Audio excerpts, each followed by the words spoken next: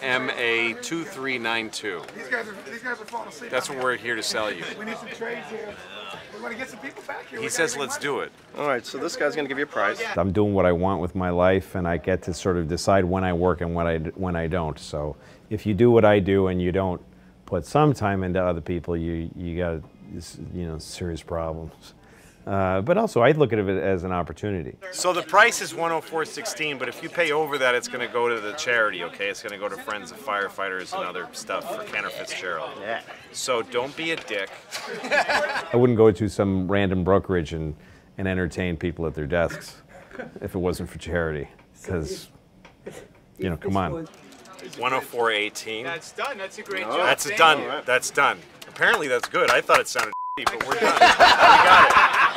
We got it. I'm here for Friends of Firefighters, uh, which is an organization that helps New York uh, City firefighters and retired firefighters.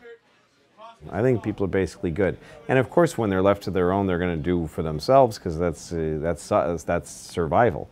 But every time you give them almost any human being an opportunity to do something a little better uh, for other people, they usually do it.